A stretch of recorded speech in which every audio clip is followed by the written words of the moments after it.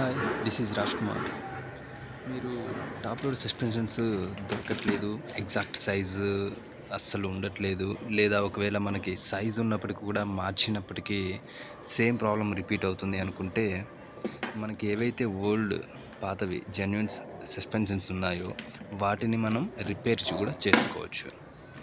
Repair చేసుకోవాలంటే ఎలా చేసుకోవాలి ఏంటి అనేది మీకు ఇందులో వీడియోలో చూపిస్తున్నాను.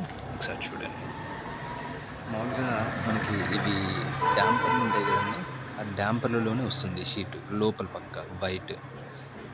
ఆ ఫ్రంట్ లోడ్ వాషింగ్ మిషన్ డ్యాంపర్లు ఆ డ్యాంపర్లలో లోపల ఉన్న వైట్ లేయర్ని మనం కట్ చేసుకోవాలండి. కట్ చేసుకుంటే మీకు చూడడానికి ఇట్లా ఉంటుందన్నమాట ఇట్లా పీసులుగా. ఇలా చిన్న చిన్న ముక్కలుగా కట్ చేసుకొని ఎలా సెట్ చేయాలనేది ఒకసారి చూడండి.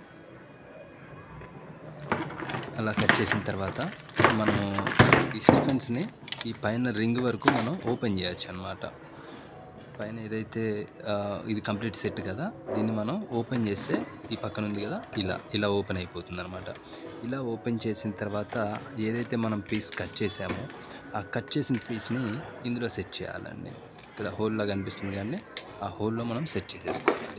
లేదు అనుకుంటే మీరు ఆల్రెడీ రిమూవ్ చేసినప్పుడు మీకు పాతది ఉంటుంది సేమ్ ఏ సైజ్ ఉంటుంది అనేసి సో మీ పాత దాని ఎగ్జాక్ట్ సైజ్ అనేది కట్ చేసి సెట్ చేసేసుకుంటే హండ్రెడ్ పర్సెంట్ మీకు ప్రాబ్లం అనేది సాల్వ్ అయిపోతుంది. సో మళ్ళీ మనం ఎక్స్ట్రా ఊరిక బయట మనం కొన్న తర్వాత ఏంటంటే అవి పని చేయొచ్చు పని చేయకపోవచ్చు చాలా ప్రాబ్లం ఉంటుంది. సైజు మెజర్మెంట్ అన్నీ వర్కింగ్ చాలా ఇబ్బంది ఉంటుంది.